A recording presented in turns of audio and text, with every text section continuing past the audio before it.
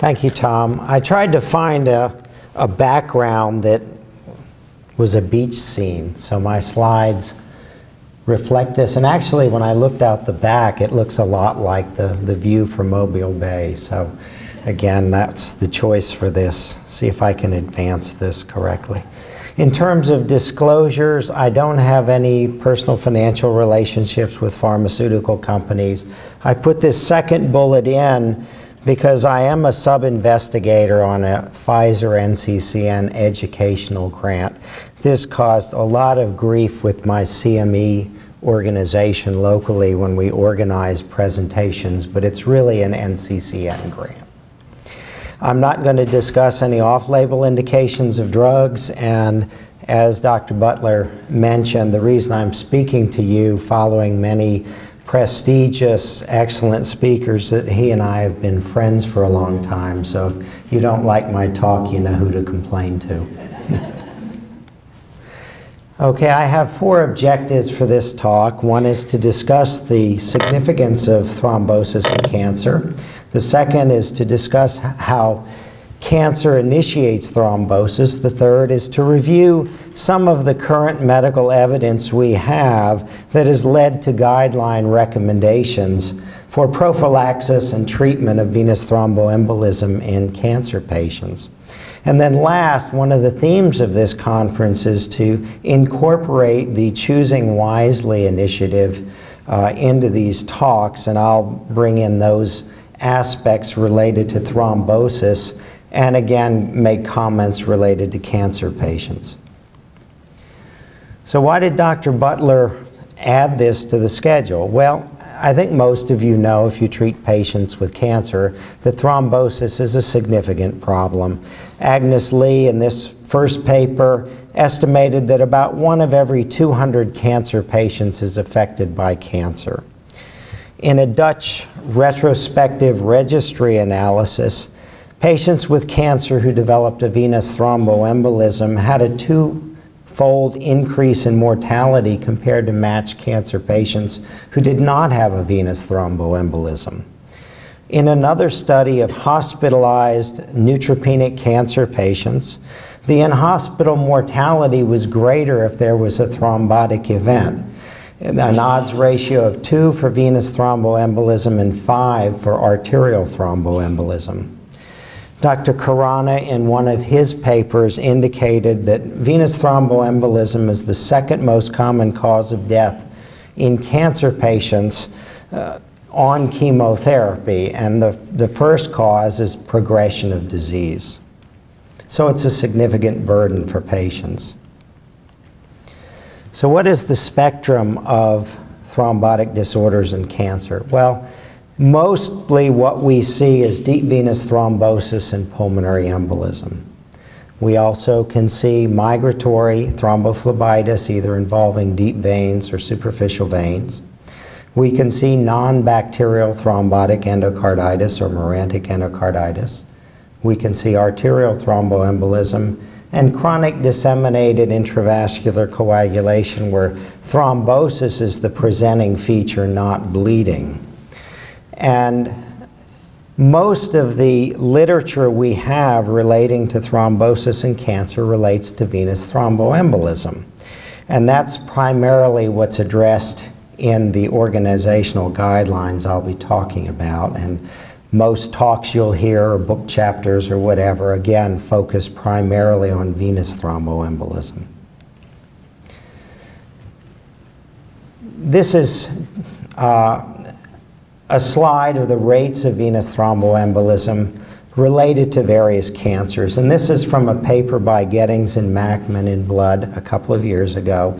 There was a series of a couple of, uh, of articles related to thrombosis and cancer. Actually, this article was more related to the mechanism of the development of thrombosis and cancer, but in the introduction, they give, gave these figures, and I think you can see, again, there's wide variability depending on the population studied, but up to a quarter of patients with pancreatic cancer and brain cancers can have thrombosis. Lymphomas and myeloma, it can be up to 50% depending on different features. lung cancer, colorectal cancer, and breast cancer up to 10%. And so it's a significant problem for certain patients. Well, what are the risk factors that lead to thrombosis? And again, the site of malignancy, as we saw on the previous slide, and the stage. More advanced disease or metastatic disease correlates with a greater risk.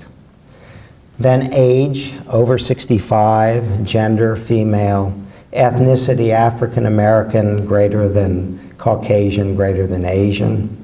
And then the standard risk factors we see in patients who don't have cancer obesity, immobilization, hospitalization, surgery, and anesthesia. And then the things we do to patients during the course of our treatment add to that risk.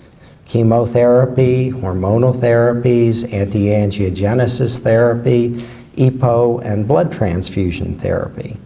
And then we tend to place central venous catheters in to facilitate our treatments, and they add to risk factors primarily for catheter-associated thrombosis. In the mid-19th century, Virchow proposed three factors that lead to the development of venous thrombosis. One is alterations in the constitution of the blood, or what we call hypercoagulability vessel wall injury, and alterations in the blood flow or stasis. And all of these play some role in the development of venous thrombosis. Cancer is actually a hypercoagulable state, and there are a number of different observations that support that. And one is that, that fibrinogen and factor VIII, which are coagulation zymogens, um, are phase reactants, and they tend to be elevated in cancer patients. Factor VII, which is the uh, initi- is, is important in the extrinsic coagulation, extrinsic coagulation system, tends to be increased in many cases as well. Then we have an increased platelet count often. And platelets are the template for the conversion of the coagulation mechanism. So we have, again, more surface to, to, to, to promote coagulation. We have evidence of increased thrombin generation signaling activation of the clotting system. Thrombin antithrombin complexes have been recorded as elevated. And then activation peptides, the prothrombin fragments F.1 and 2 tend to be elevated. So again, we have thrombin activation, which has been described. We see increased D-dimers often, and this signals that we have activation of coagulation and then development of fibrinolysis to cleave the fibrin clot to form these D-dimers. And then there, there may be evidence of decreased fibrinolysis to dissolve clot with increased plasminogen activator inhibitor levels described. And then P-selectin is a protein which allows platelets which roll along blood vessel walls to adhere to sites of injury. And so, again, if that's increased, we might have greater attachment of, of, of platelets. The way I look at it is, is with venous thrombosis and cancer, we have contributions of both inflammation and hemostasis. Normally, when we form a clot, we have fibrin and red cells together with variable amounts of platelets and white cells that, that adhere to the valve cusp pockets behind the valves in the leg veins, usually in the calf or in, in areas of veins that are exposed to direct trauma. And one finding that's been described consistently is that tumor cells can constitutively express tissue factor. And they do this packaging it into microparticles, which then are released into the circulation and can then go to these sites of injury or to these valve cusps. And tissue factor is what triggers the extrinsic coagulation mechanism. In addition, tumor-associated macrophages and endothelial cells can also be induced to express tissue factor locally by either cytokines or by tumor-specific antigens. And these macrophages and endothelial cells that have been converted can again be a template for coagulation. P and E selectins mediate not only the attachment of, of platelets to vessel walls, but also of platelets to tumor cells and the adhesion of cancer cells to the endothelium.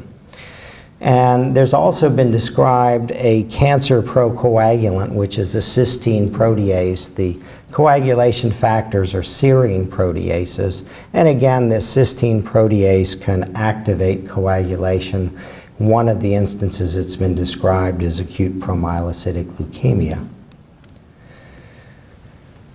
We have a number of guidelines out there. Um, I think there are four that, that I look at in terms of uh, deciding how to treat a patient. The ACCP guideline is a very large guideline, mostly outlining treatments for a various number of, of, of, thrombotic conditions, most of them not related to malignancy, but with sections or parts that, that relate to malignancy. And then there are three cancer specific guidelines. ASCO has developed one in 2013. The NCCN has a, a, fairly large one that they, they have developed, and then the European Society of Medical Oncology developed one in 2011. The way they develop these is slightly different. In ESMO, for instance, there were only two individuals who developed this, one expert medical oncologist and one expert hematologist in thrombosis. The others had panels of, of varying numbers of individuals, and ASCO formulated questions, answered them, and came up with recommendations. The NCCN and ESMO just went through different topics as they went along. I like this quote from Agnes Lee that I took from the ASH education program she presented last year in December. And she gave a talk on cancer and thrombosis. And this is from the published version that's in the education book or on, available online. And she stated the guidelines are primarily based on extrapolated data from clinical trials in non cancer patients, observational studies and registries, studies using surrogate outcomes and underpowered randomized controlled trials. Well, that doesn't sit well that we have a lot of strong data. Um, my review and looking at these guidelines and comparing them is I think there's a general consensus of expert opinions on each of these panels with broad agreement on most topics, but there are some differences in focus and the strength of recommendations, so there is some concordance. Now, I've been converted to case-based studies. I learn better related to, to, to, patients I see. And so I've come up with four case scenarios I'll present and then use that as a, as a way to get into different discussions and teaching points. The First case is a 52-year-old man who presents with iron deficiency anemia, and he hadn't had a colonoscopy, he has one, and he's found to have a four centimeter sigmoid colon mass, which on the initial biopsy is a villous adenoma. He undergoes a left hemicolectomy, and the pathology reveals in the, in the midst of this villous adenoma is a well-differentiated adenocarcinoma stage 1, a PT1 lesion. He has a CEA and CT scans that are performed and they're normal. He was treated with sequential compression devices on his legs during the surgical admission, but he didn't receive any pharmacologic prophylactic anticoagulation because there was some concern about bleeding risk. So after he's released, the surgeon knew he wanted to talk to a medical oncologist because the patient knows that sometimes you get additional therapy. So you see him back a week after discharge and you tell him, I don't think you need any additional therapy. I think you'll do well with follow-up colonoscopies. But he says, oh, doc, by the way, uh, my left thigh is sore and tender. And so you do a venous duplex Doppler examination and he's got a superficial femoral vein thrombus. So certain questions come to mind to me. Does he need systemic anticoagulation or can he be treated for a superficial venous thrombosis? If he's treated with systemic anticoagulation, what are your choices? How long should he be treated and does he need hypercoagulability testing? Some teaching points. The first is that it can be confusing with the name of the, the superficial femoral vein. It's really part of the deep venous system and not part of the superficial system. Because it's a large vein, there is a risk of pulmonary embolism.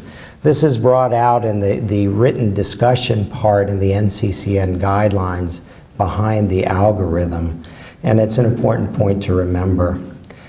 To me, this was a provoked venous thromboembolism with immobility, obesity, and surgery as precipitating factors. He really doesn't have active cancer, and you're not going to giving any adjuvant chemotherapy. So I don't think this is truly a cancer-related thrombosis. I think this is a post-surgical thrombosis. And I think you could treat this particular patient with any standard anticoagulation regimen for a provoked event where the risk factors have been resolved with the exception of the obesity. And to focus on the ASH choosing wisely, point number six specifies in somebody like this, one should receive three months duration of anticoagulation for a provoked event where the risk factors have been resolved. The ASH choosing wisely point number two specifies that a provoked venous thromboembolism in the setting of major transient risk factors does not require hypocoagulability testing. And as hematologists, we've tried to convince everybody to test for hereditary abnormalities that might cause thrombosis. Now we're backing off and saying after 20 years we shouldn't be testing them. And that's because that even in unprovoked events, probably the highest yield I think I've ever heard about is 20%, and it's generally a lot lower. And then when you find an, a mutation, it generally doesn't change what you'll do. Now, Another question that comes up is if you have somebody who doesn't have a provoked event. We know that there are patients that present first with a venous thromboembolism and are later found to have cancer. And the three guidelines, for the most part, don't mention any extensive screening for occult cancer, even though we know this does occur. There was one study, the SOMIT trial, which stands for Screening for Occult Malignancy in Patients with Symptomatic Idiopathic Venous Thromboembolism, that was published in 2004. And with intensive screening, they showed that, that they could indeed detect most hidden malignancies with high sensitivity, that they could detect them earlier at an earlier stage.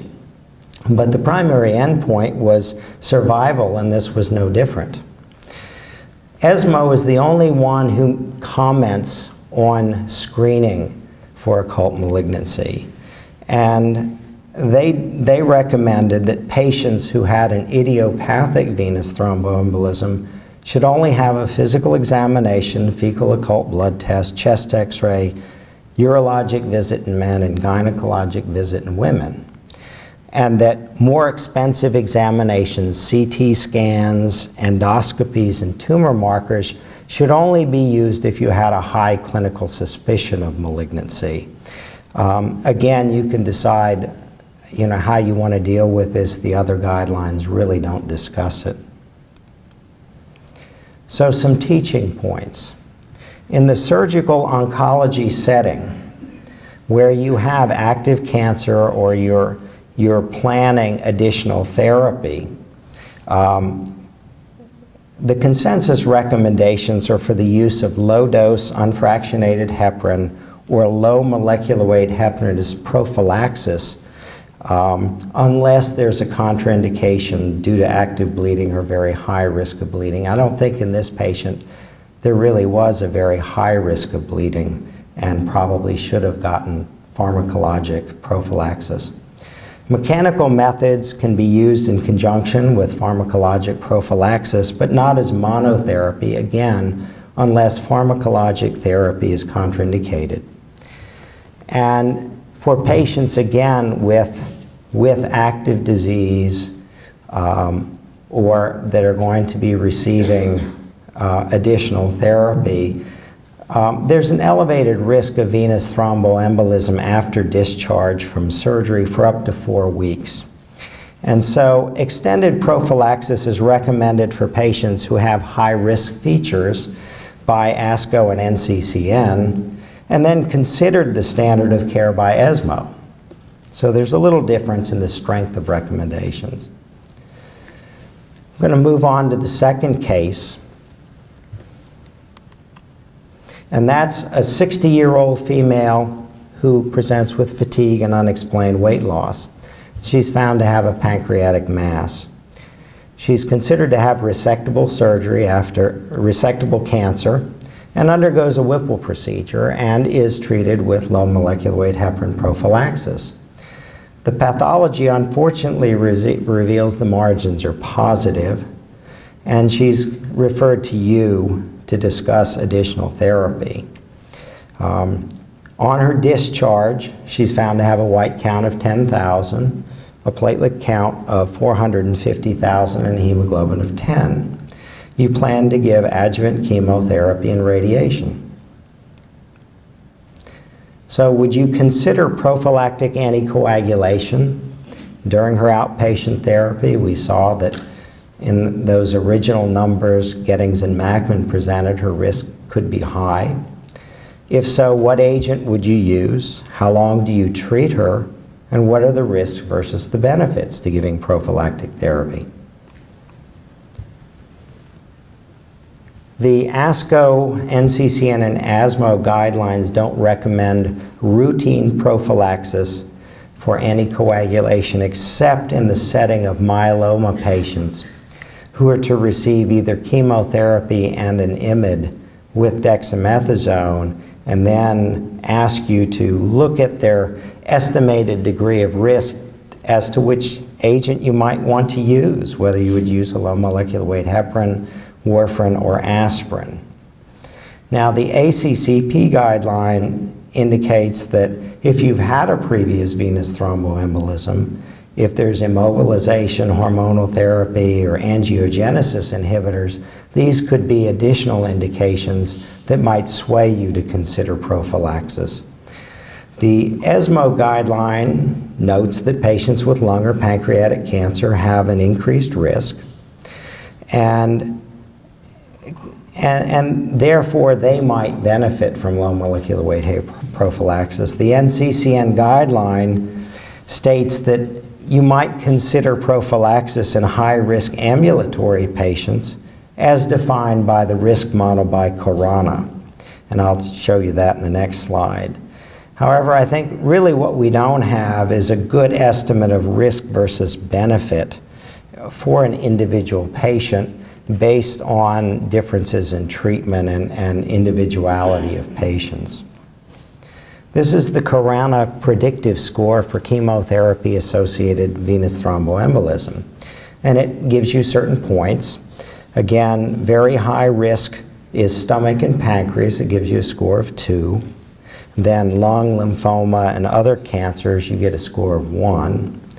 The pre-chemotherapy platelet count is you get a score if you're 350 or above a hemoglobin less than 10, a leukocyte count that's greater than 11,000, and being obese with a BMI of 35 or higher. And again, in this patient that I presented, she has pancreatic cancer. She gets a score of 2 for that, and a platelet count of 450,000, so she has 3. If you look in the bottom right, this gives her a, risk of 3 of high risk and correlates with somewhere around a 7% risk using this model. So it may be helpful uh, in this situation. What is the information related to pancreatic cancer and prophylaxis? Well, there was a large study, the PROTECHT study, that was performed in over a thousand patients who were ambulatory with advanced or locally advanced cancer who were receiving chemotherapy and they were either given nadroparin, which is a low molecular weight heparin we don't have in this country, or no prophylaxis.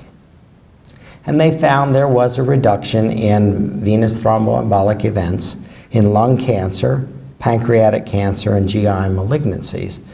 And again, um, the risk reduction in pancreatic cancer here was from 8.3% to 5.9%. There was a smaller study the UK Fragem study using dalteparin or Fragmin in 123 patients with pancreatic cancer who are randomized to receive gemcitabine with or without dalteparin. They had more impressive percentages of reduction from 23% to 3.4%, with lethal venous thromboembolic events only occurring in those who were in the control arm. And furthermore, that this was given for 12 weeks, and after 12 weeks, there was still a benefit after the dalteparin was stopped in terms of, of survival, but um, it reduced over time. So some teaching points. Pancreatic cancer has a high risk for venous thromboembolism. Chemotherapy adds to the risk. Unfortunately, the use of biomarkers that I discussed earlier in a slide is not proven as to, as to whether it adds any help in terms of estimating risk. A low molecular weight heparin is the preferred choice, and in this country our choices are enoxaparin or dalteparin. We have some issues, though, with those drugs because low molecular weight heparin is excreted renally, so if one has a low creatinine clearance below 30, that we shouldn't use it. And then I, what I found is, at least in one of my patients where I, he was sent home from the hospital on low molecular weight heparin, his copay was $400. He says, you got to find me something cheaper than that. Uh, and so uh, he ended up on rivaroxaban where his copay was only $40. So, and this is in addition to being an, an injectable. So I think there are some issues with giving um, the, the anticoagulation prophylactically. Okay, the third case is a 65-year-old man with adenocarcinoma of the lung, EGFR and ALK negative. He's found to have N2 involvement on his PET scan, and this is confirmed with mediastinoscopy. So you plan to treat him with carboplatin and methotrexate. You give him three cycles and do a repeat CT scan of the chest. And he's had a partial response, but the, the radiologist calls you up and says he has incidental segmental pulmonary emboli in both lungs. So you order a duplex Doppler examination and find he's got a non, non-occlusive iliofemoral thrombus in the right leg. So he's got DVTs and PEs that hadn't been recognized. So some questions. Does an incidental pulmonary embolism found on a routine CT scan warrant any treatment? Does it confer the same risk as a symptomatic pulmonary embolism? Which anticoagulant or anticoagulants should you use to treat his venous thromboembolism if you think he needs treatment? And should you consider placing an inferior vena cava filter?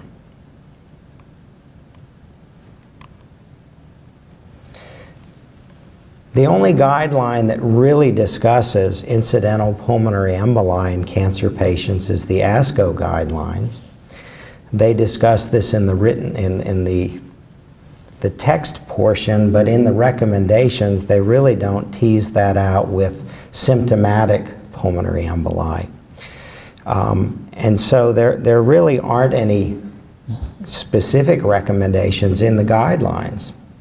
Now, there are several studies that have looked at this. One is by Den Exter, published in JCO in 2010 and they defined symptomatic versus asymptomatic patients. They had 51 asymptomatic and 144 symptomatic patients, and they found similar rates of recurrence of venous of pulmonary embolism, bleeding, and mortality. So that would suggest that it didn't have a more benign prognosis. There was a retrospective study of 96 patients of unsuspected PE matched to symptomatic controls, and there was a hazard ratio of 1.5 for the unsuspected ones. In fact, if you looked at the segmental PEs, the hazard ratio was over 2. But interestingly, it was 1 for patients who had isolated subsegmental pulmonary emboli and they actually made the point that there were four of nine patients who didn't receive any anticoagulation, and on the next CT scan, they didn't have any new ones, and the former one was gone. And so that might be one exception where you would maybe not give anticoagulation. Um, in another prospective observational trial in cancer patients with unsuspected PEs, most were treated with anticoagulation. And they looked at recurrence of venous thromboembolism, bleeding, and mortality at 3, 6, and 12 months. The bleeding risk stayed the same at those, those time points at 4.9%. The bleeding risk increased from th three months to six months, from 8.5% to 18%, but was stable at, at 12 months. The mortality rate increased progressively from 11% to 18% to 43%, probably reflecting progression of disease as these patients were not having pulmonary emboli. And so, again, how, you know, making firm recommendations sometimes is difficult, and there was a position statement in the International Society of, from the International Society of Thrombosis and Hemostasis, chaired by Khorana, that talked about the issues of trying to study this with variable populations, how you define this. They preferred the term incidental over asymptomatic. Um, and again, the differences in CT scanning um, that could contribute to differences in, in outcomes. So some teaching points. All of the current guidelines specify low molecular weight heparin as the anticoagulant of choice for venous thromboembolism. The only low molecular weight heparin that's actually been studied in cancer patients is dalteparin in the CLOT study. And this showed superiority over warfarin in preventing recurrence of venous thromboembolism. Now, there was a study published at ASH this past year, the CATCH study from Canada, where they used another low molecular weight heparin, tinzaparin, and that showed similar findings to the CLOT study, that it was more effective than warfarin in preventing recurrent venous thromboembolism. In this country, most of us use enoxaparin. That's what's on hospital formularies primarily.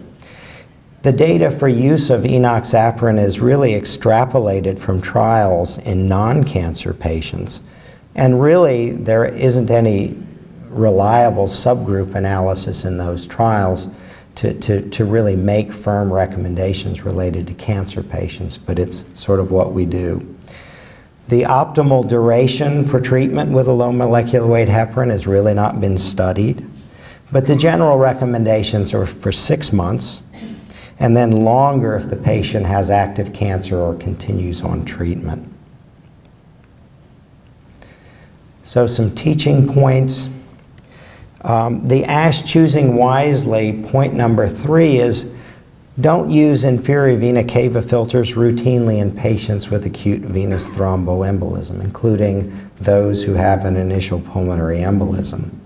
Related to cancer patients, there is a small amount of literature that overall, in summary, suggests that patients who have inferior vena cava filters placed still can have venous thromboembolism with a greater risk of deep venous thrombosis in the inferior vena cava and the legs, probably because we've induced more stasis. And then patients who have advanced cancer, and many of the patients will have advanced cancer, who have IVC filters have short life expectancies, and we haven't been ever able to show an improvement in survival. So For some teaching points, insertion of, an IVC filter is indicated only if there are contraindications to anticoagulant therapy. Once that contraindication, uh, the risk of bleeding is reduced, if there's an IVC filter in place, then one should either start the anticoagulation or resume it to reduce the risk of recurrent venous thromboembolism in the inferior vena cava and the legs. It may be considered as an adjunct to anticoagulation in patients who've progressed with thrombosis despite being placed on what appeared to be an adequate dose of low molecular weight heparin to limit the, the extension of an existing thrombus or new thrombi. And for one of the issues that comes up is what about patients who have brain tumors or brain metastases? I know I used to get into arguments with the neurosurgeons several years ago. And for patients with primary central nervous system malignancies, again, anticoagulation is recommended as it is for other patients. And there was an abstract at the ASH meeting last year that looked at the presence of brain metastases.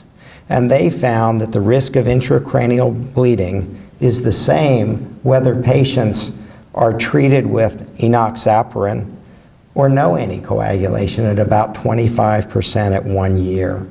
So again, you can still have bleeding related to brain metastases even without heparins, and it appears to be about the same with heparin. The last case is a 64 year old female with left sided breast cancer. It's stage two it's a PT2 lesion. She's treated with lumpectomy and sentinel node sampling. She has a right mediport placed and begins adjuvant doxorubicin and cyclophosphamide therapy. After cycle two, she develops right arm pain and swelling. A duplex Doppler examination reveals a subclavian venous thrombosis around the catheter. The catheter is functioning well. There's no signs of infection uh, of the catheter. So some questions. Should she have received thromboprophylaxis to prevent this catheter-associated DVT? Should the catheter be removed after the thrombosis is developed? Which anticoagulant should we use for this deep venous thrombosis and how long should we continue it? Current, none of the current guidelines recommend routine thromboprophylaxis for catheter-related venous thrombosis. There was a meta-analysis that looked at seven randomized controlled trials, three using low molecular weight heparin, four with low-dose warfarin that did not show any benefit. In those studies, dalteparin was used at two different doses, a lower dose of 2,500 and, and a higher dose of 5,000 milligrams. Enoxaparin at a standard 40 milligram daily dose and warfarin at what we used to use as a low dose to prevent these compared to placebo or controls. And there were a lot of problems with these studies, the wide range of incidents reported, how we define catheter-associated thrombosis. Some included fibrin sheaths or catheter occlusion and underpowerment of the trials. And so it looks as though symptomatic catheter-related thrombi occur at about 4 to 5 percent nobody knows what the real incidence is in asymptomatic. And so currently we don't recommend any thromboprophylaxis. The other, another point is that, that the catheter doesn't need to be removed unless it's not functioning, infected, or no longer needed. Now, if it's down in the, into the, the um, superior vena cava and you have a superior vena cava thrombus, that might be a little different. But if it's properly placed and functioning, you should leave it in because you run into the problem that you have to take it out, then put in another one to accomplish the same purpose as you had for the first one to administer chemotherapy, and then balance the, the bleeding risk and being off of the, the, the heparin. The preferred therapy is a low molecular weight heparin. You treat for three months after completion of chemotherapy. It's a provoked event. And we often use now these smaller catheters and on occasion PICC lines that are placed in superficial veins. And William Geerts presented a session at, at uh, ASH as well on catheter-associated thrombosis, and I haven't seen this anywhere else in print, but he suggested in these smaller superficial veins, you, if you leave the catheter in, you could treat at a lower dose of, of low molecular weight heparin in the seven, 50 to 75 percent range, and then leave it in, and then continue treatment for two weeks after removal of that superficial catheter. What about newer oral anticoagulants that are the rage for atrial fibrillation? We used to call them novel agents. Well, now after three of them or four of them, there's not too many, they're not very novel. We used to call them new, we can say newer, but now the preferred term is target specific oral anticoagulants. We all love targeted therapies. The problem with them is that there are no clinical trials specifically testing their efficacy in cancer patients. And so we use them uh, on occasion, but again, we don't know how they compare to low molecular weight heparin like we do with warfarin. These are oral drugs. As with any oral drugs, there's compliance issues, issues with absorption, and there are issues with drug-drug interactions. Again, for the anti-10A inhibitors, if you have a strong CYP3A4 inducer, your level is lower. And so again, we have a lot of these logistical issues to, to deal with. And we don't have good specific antidotes in the event of bleeding. Uh, and that remains a problem too. Often we have to wait for the, the effect to wear off. And, and again, the NCCN guideline, I'll close with, um, does outline these newer agents and the antidotes available, but I'm not going to get into to that, that discussion today.